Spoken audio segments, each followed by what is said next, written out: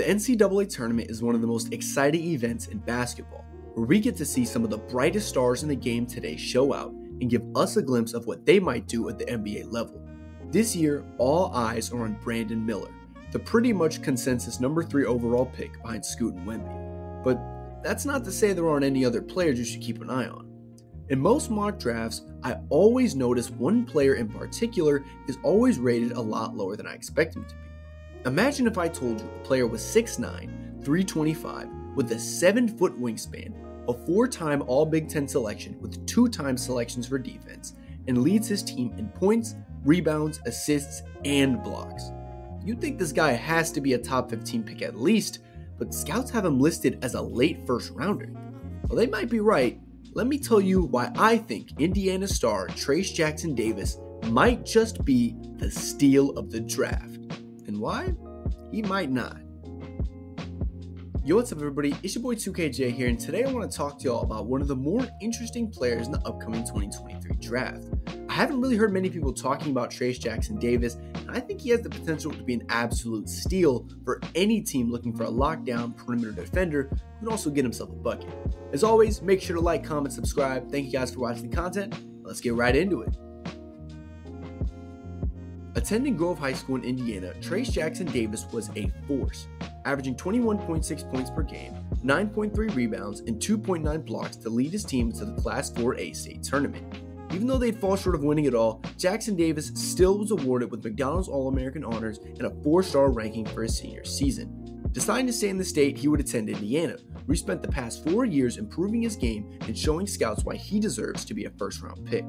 Currently, he's got the Hoosiers to the 4 seed in the NCAA tournament and has put up exceptional numbers in his senior season. Through 30 games, he's got 20.8 points per game, 10.9 rebounds, 4.1 assists, and 2.7 blocks, all on a quite efficient 58% shooting. And if you've watched his game, you know he backs these stats up. Jackson Davis has scored over 10 points every game this season, with 16 20 point games and a season high of 35 in a victory against Illinois. He can create his own bucket well, using his finesse, strength, and height to drive to the basket for some crafty finishes.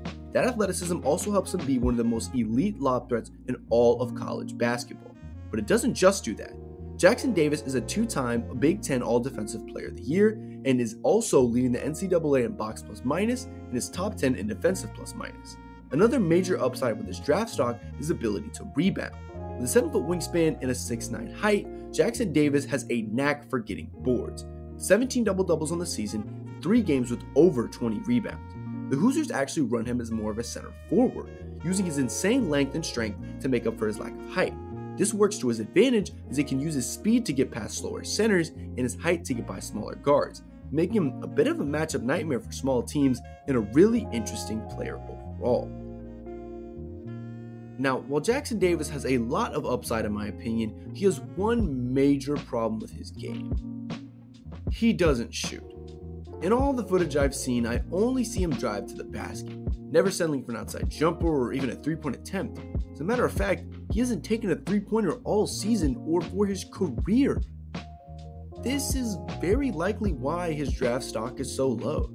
We all know in today's game you absolutely have to be able to shoot. Look at people like Ben Simmons. He had an all star career and now he's pretty much obsolete because of his reluctance to shoot.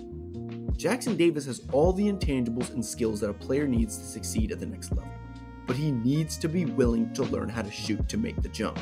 If he can become a decent three point shooter, possibly add a light mid range game to his bag, I can see him developing into something special. But it all comes down to who he gets drafted by.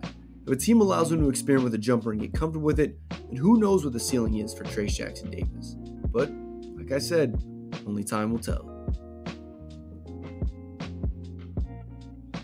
So, what do you guys think about Trayce Jackson Davis?